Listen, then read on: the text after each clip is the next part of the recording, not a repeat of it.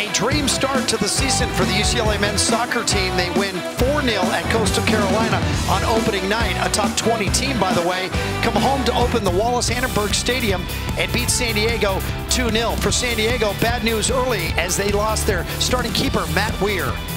And this really just comes through as you, you'll watch Mohammed Kamara come through and right there, knee to the head. And oh, that one had to hurt.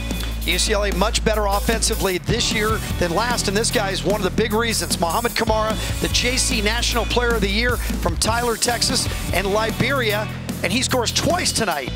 Well, he was absolutely fantastic. We see him throughout the game just showing his skills and ability, coming up with two goals throughout the night. He's going to be tough for opposing teams to handle because not only is it speed and pace that he has and the goal scoring ability, but look at the strength that he's able to body off some of these taller, bigger defenders and find a way to put the ball in the back of the net. So watch out. He's sending a message that he is here to be a leading goal scorer candidate. Mohammed Kamara, as JC National Player of the Year, scored 48 goals in 22 games, and he's already scored three times for UCLA in his first two starts. The Bruins are 2-0 back home Sunday against San Francisco. For Cobi Jones, I'm Jim Watson saying so long from Westwood, where they circle the wagons at the Wallis Annenberg Stadium project.